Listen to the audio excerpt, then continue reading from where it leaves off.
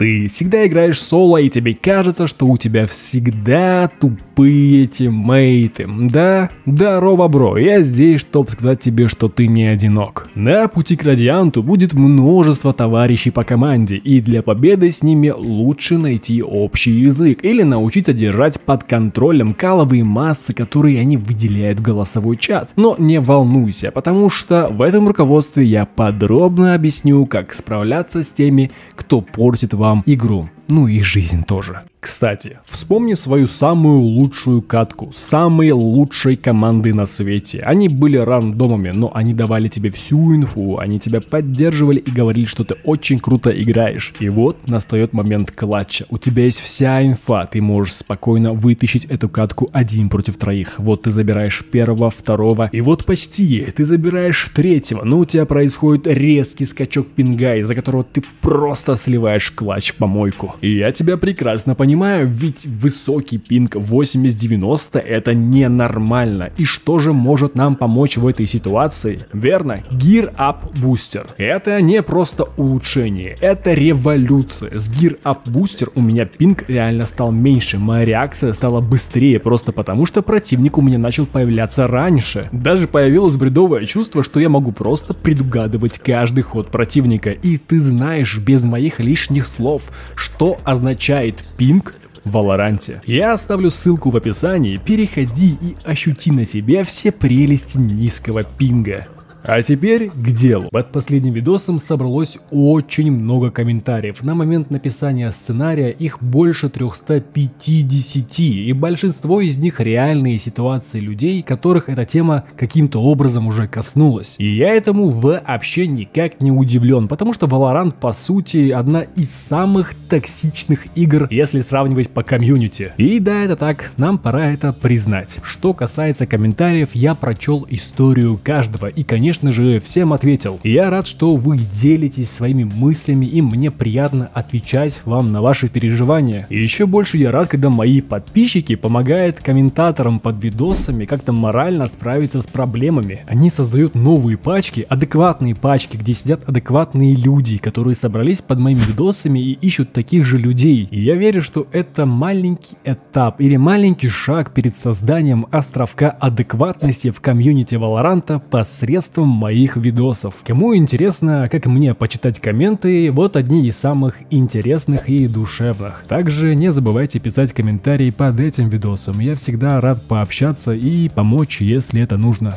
Первое, что вам нужно осознать, это то, что слово плохое это общий термин. И на самом деле существует множество типов плохих товарищей по команде, с которыми вы можете столкнуться в любой катке. Во-первых, например, есть новички, которые не понимают механику механику игры и имеют очень ограниченное понимание этой игры. На низких рангах такие игроки встречаются чаще всего, и это одна из основных причин, по которым игроки серебряного ранга жалуются, что они застряли в аду Элла. И вот с такими игроками крайне важно не быть токсичными, если они делают неправильные ходы, так как это определенно испортит моральный дух всей команды и сильно снизит ваши шансы на победу. Вы просто представьте себя на месте этого новичка. Вспомните себя себя, как вы начинали только-только играть в эту игру и в принципе ни хрена не знали, что происходит, но при этом старались что-то сделать, попытаться принести хоть малейшую пользу команде. И вот что в тот момент вы хотели услышать сами? Какие слова поддержки вы бы хотели услышать от своих тиммейтов? Вместо токсичного поведения к этому игроку, дайте им конструктивную критику и советы о том, как они могут улучшиться, если они начнут токсичить в ответ и говорить «молчать, я и без тебя знаю» и т.д. не проявляя агрессию агрессию, проявив злость в этот момент, ты сознательно опускаешься на его уровень. А это нам надо?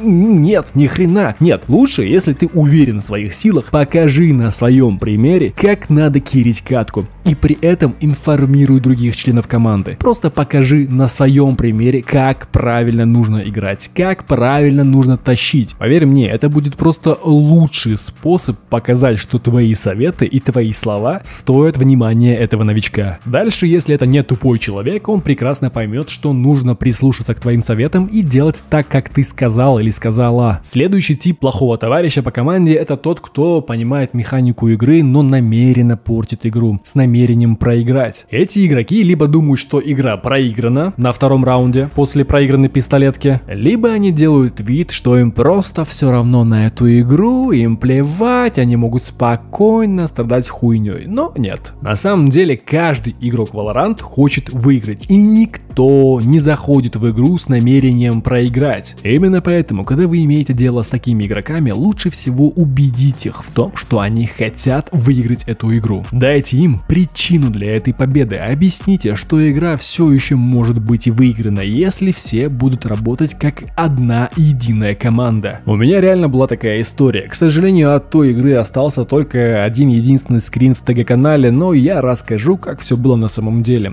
Чел, например, узнал, что у нас в пати есть русскоговорящий чел, по его акценту, естественно, и начал спецом портить катку. Хотя, судя по статье, Брим играет хорошо, и по его отыгрышу понятно, что он знает, куда нужно смочить, раскидки тоже знает, и все он прекрасно понимает. Но, как это бывает, чел тупо бегает за своей жертвой, кричит в чат, что он русский и выдает его позиции. И что делает большинство игроков в подобной ситуации? Просто кидают в бан, мут и так далее, но так в 90% случаев проигрывают, потому что минус один чел в команде, плюс у него очень важная роль. Смокер на карте, где без смоков нельзя. Что сделал я в данной ситуации? Я первые три раунда пытался до него достучаться, я пытался привлечь его внимание на себя. Пытался показать, что от его криков ничего не выйдет, и мы просто проиграем один раз, и бойкот никак не поможет. Чел, который жертва Брима, после этой катки сразу запустит следующую и забудет про Брима как про страшный сон. И на мое удивление, он реально прислушался ко мне, он начал играть, он или со мной, потому что я был добр к нему, наверное. Он ставил смоки и делал киллы, общался со мной, информировал о том, что он делает и так далее. В итоге мы камбэкнули и даже выиграли катку. Да, морально вначале все были подавлены, никто не хотел разговаривать и говорил только тот чел, который булил. Но по итогу, когда счет сравнялся, все начали общаться, шутить, давать инфу, и в принципе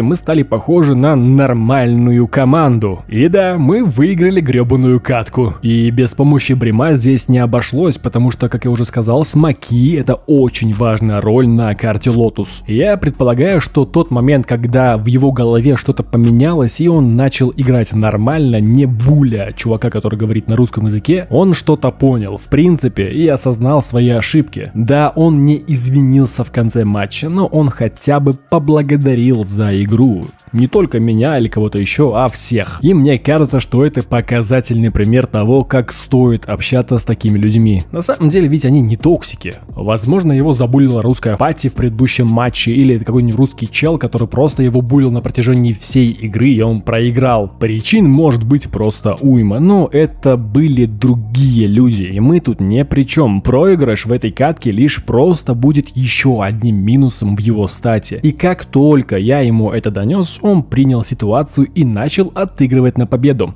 Делайте выводы, пирожочки. И еще не забывайте писать, были ли у вас подобные ситуации, как с Бримом. Мне будет интересно почитать ваше мнение и узнать, как вы справились с этой ситуацией. Следующий тип плохого товарища в команде это хороший игрок, у которого просто плохой день. Очевидно, они принимают хорошие решения, играют с командой, но полностью промахиваются по всем своим выстрелам. И такими игроками важно приложить усилия, чтобы подбодрить их и воодушевить. Ведь у всех такое бывает, когда вот почему-то именно сегодня у меня не летит. Да и Valorant на самом деле во многом психологическая игра, и если игрок думает, что играет сегодня плохо, он продолжит играть плохо. Но вроде бы видно, что человек правильно ставит прицел, знает позиционирование и в принципе чувствует игру, но почему-то, блин, не залетает, да? И Реально, это все гребаная психология. Поэтому, если этот чел не настреливает столько, сколько он должен, важно немножко этого человека подбодрить, надеясь, что это поможет ему вернуться в строй, вернуться в поток где он будет раскидывать свои пульки по хедам и тащить катки. Ну, это в лучшем случае. Хотя на самом деле бывает такое, реально бывает, когда человек, ну просто с неимоверным скиллом, но почему-то у него именно сегодня не залетает так, как обычно. Ну и что теперь, булить его? Или что, ненавидеть его, обзывать, говорить, что он low skill и так далее? Что, чтобы он играл еще хуже? Нет. Зачем? Почему бы его просто не ободрить? Он сделал килл, скажи, хорош, бро, ВП и так далее. Психологически он уже будет более-менее уверен в своих силах и не будет бояться помереть от неверных решений, потому что команда его поддержит, тупо поддержит. На самом деле любой человек, ну согласитесь, любой человек хочет поддержки. И в такой пати всегда приятно играть и особенно приятно выиграть. Вот сразу после победы с такой пати чувствуется, что вот это та самая игра, в которую я когда-то влюбился. Я уже представляю, как я буду рассказывать эту историю своим внукам, типа Дедушка, дедушка, а кто твоя первая любовь? А я такой, внучок, моя первая любовь это моя любимая Пати. Да, мне пришлось с ней расстаться после великолепнейшей победы, но я никогда ее не забуду. Она всегда у меня в сердечке, знаешь. Это та самая Пати, которая меня поддержала и сказала, что я не low skill. Я поверил в себя и достиг многого благодаря ей. Даже твоя бабушка не настолько крутая, как эта Пати. Да, ребята, я вас всех помню. С вами было очень весело играть. Я надеюсь, когда-нибудь в следующей жизни мы снова встретимся и вместе победим еще много каток. И, наконец, самый плохой, самый ублюдский, самый бесячий тип в команде – это, безусловно, токсичный игрок, который нападает на всех и вся сразу. Они постоянно спорят, жалуются, часто портят моральный дух всей команды и вообще сами по себе противные люди. Реально с ними очень трудно иметь дело. Существует множество способов, которые, надеюсь, помогут вернуть их на вашу сторону, так как они в основном как будто бы играют на стороне вашего противника. И по крайней мере лучший способ справиться с такими игроками это просто их игнорировать. Потому что если они не получают желанного внимания, они скорее всего перестанут быть токсичными. Звучит глупо, я понимаю, но давайте представим. Вы продолжаете общение с другой частью команды и полностью игнорируете его слова. Человек поймет, что делает что-то не так, у него не получается вас задеть и затронуть. И что ему остается делать?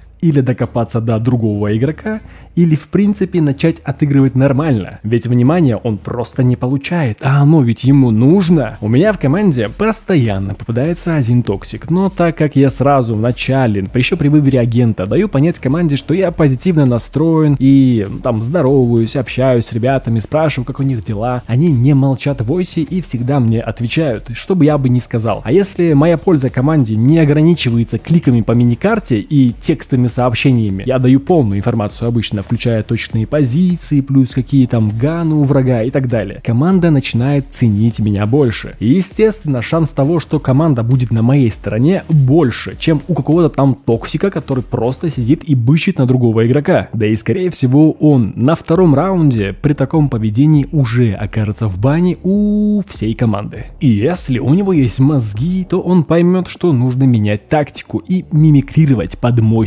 общения, чтобы получить заветное внимание от команды.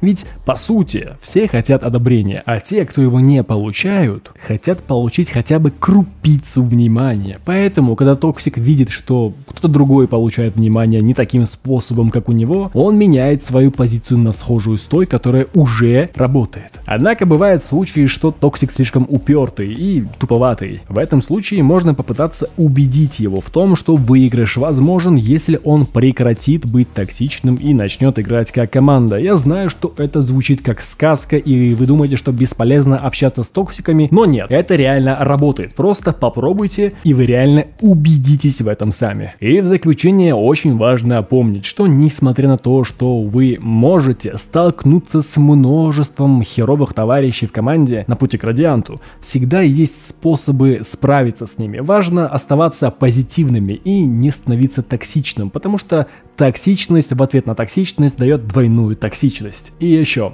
Важно помнить, что каждый хочет выиграть. Помогая другим улучшиться и работая вместе как команда, вы увеличиваете свои шансы на победу. И я реально вот сейчас уже говорю без сценария, потому что, наверное, это идет от души. Я устал от токсичного комьюнити. Нет, я не собираюсь прощаться с Валорантом. Я взял на себя большую задачу попытаться исправить или хотя бы вложить правильные мысли в головы людей, которые играют в Valorant. Да, у меня маленький канал, да, у меня не так много просмотров, но я надеюсь, что мои видосы помогают тем людям, которые их смотрят. Я стараюсь отвечать каждому человеку, который оставляет комментарии под видосами со своими историями, где там реально все херово, или у него там очень плохая тема, ему нужно выговорить выговориться, и естественно я хочу ему помочь. Нет, это не синдром спасателя и так далее. Нет, я просто понимаю, что человек находится в такой же ситуации, как и я. И я считаю это нормально хотя бы выслушать человека и минимально помочь ему каким-то советом, словами и так далее. Потому что я знаю, что токсики создают